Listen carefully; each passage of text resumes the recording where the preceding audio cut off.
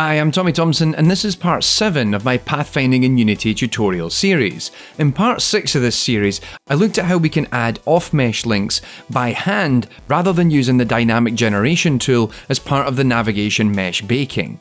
This is actually quite useful if in some instances we want to be very specific about whether or not you can actually navigate from one particular navigation mesh area to another, but also whether or not we want that relationship to be unidirectional or bidirectional.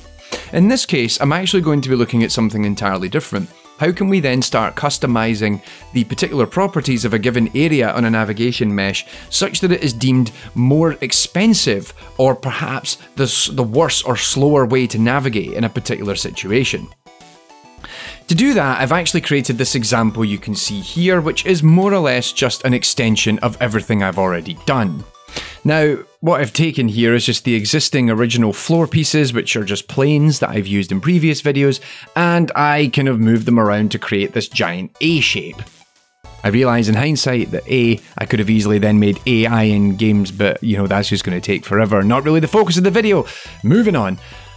What I'm going to do here is, um, first of all, let's have a little look at the navigation mesh. It's pretty cool, it's built it all up, this looks really nice. And if I was to let my agent go, it's going to move its way as optimally as it can and nice, close to a straight line as it can actually get away with uh, from that starting location all the way over to the destination. Now, that's actually quite useful, but say in a video game, we're in a situation where we actually want certain parts of the world to not be navigable by a certain type of agent. Uh, maybe we might actually want to say, well, you know what, some of this is lava or a swamp or water, so maybe the player is able to navigate in it, and maybe in the worst case scenario, you could actually navigate through it if there was no other way to get there. However, for the time being, um, we'd rather you avoided it. Now to do this, we can actually create areas within the navigation mesh, and for each area we can dictate how expensive it is for an agent to try and go through it. To do that, what we actually do is up here in the navigation tab, there's a thing called areas. Now I haven't touched this really at all thus far in this tutorial series, but you can see that there's already some that are pre-built for us. Walkable, not walkable, and jump. Now, actually not walkable is kind of what we want. It's um, kind of useful in the context of maybe we don't want you to be able to walk through this area. So maybe if I was to actually pick a couple of them, and then go into the object and say navigation area, oh, this is not walkable. I don't want you to be able to walk there. All right, cool, then bake this. You can see that even though we've actually considered it originally as part of this navigation mesh, when we set it to be the not walkable area, you can't walk on it. I mean, if you don't believe me, then let's just actually get the agent to do it. At this point, because those areas aren't walkable, this agent is taking a long way around. Da -da, da Come on, dude, speed it up. You're you're holding the tutorial back at this point. Hooray! Made it. Thank God. Right. So let's just quickly undo that if we go back in here. Make sure that these are walkable regions again, and then if I go back and rebake it, cool, right, they're now part of the nav mesh again. But maybe I want to make them slightly more expensive to kind of detract from going into them. What I can do is let's go in and actually create our own custom area. So you can see here that there's like a whole stack of custom areas that are made available to you um, already within this tab. So I'm going to say it's um, it's a swamp. All right, let's just create it as a swamp. And let's say that it has a cost of two which means that when it's actually navigating through it, this is now twice as expensive. When it's doing the calculation to figure out where to go, this is twice as expensive to go through these areas as it is to go through the rest. And to do that, make sure I'm only hi highlighting these two, and then set the navigation area to swamp and rebake it.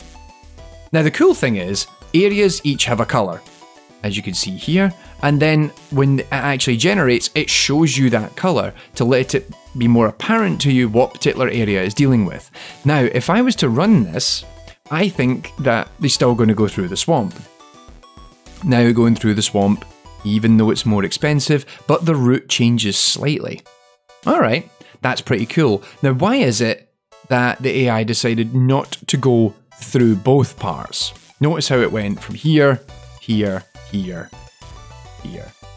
If you think about the cost, one, one, two, one, one, one, versus one, one, two, two, one, one, That was actually slightly cheaper. But say we wanted to actually make it even more expensive and force it to go all the way around, cool, let's just increase the cost of the swamp to like 5. And if we just run it, actually, we don't even need to rebake at this point because it already knows what area it is. All we're doing is just changing the specifics of how much one of those regions cost.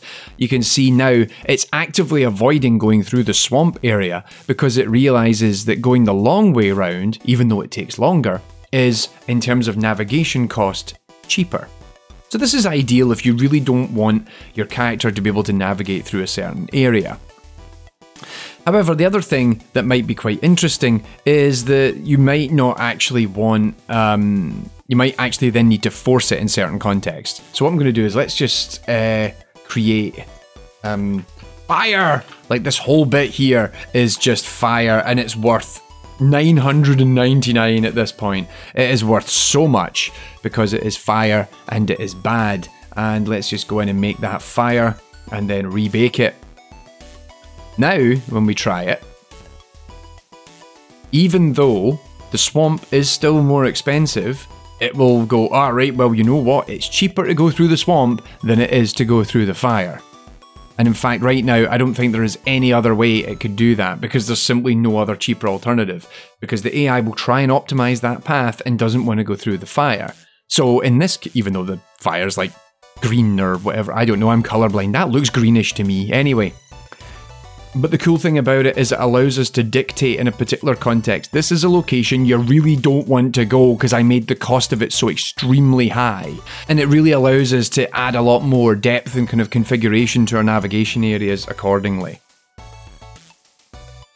And that's it for this video. This is just a really simple overview of how to start using the navigation mesh areas to suit you. And you can then try and build like more complex areas and allow you to kind of move around and um, build these richer and more interesting areas where your characters will actually focus on areas that are cheaper for them. And then, if necessary, sometimes if you change the world around them, or as something that I'm going to come back to in a little bit, the navigation mesh changes while you're playing the game, then this actually forces it to say, all right, okay, I'm going to go through this bit even though it's more expensive. This has been part 7 of the Unity Pathfinding tutorial series here on Table Flip Games. Don't forget to like and subscribe for more tutorials. Plus, we're supported over on Patreon, so if you want to get access to our videos early, vote on topics, and get access to the original source material, head on over to our Patreon page on screen now and in the description. Thanks for watching.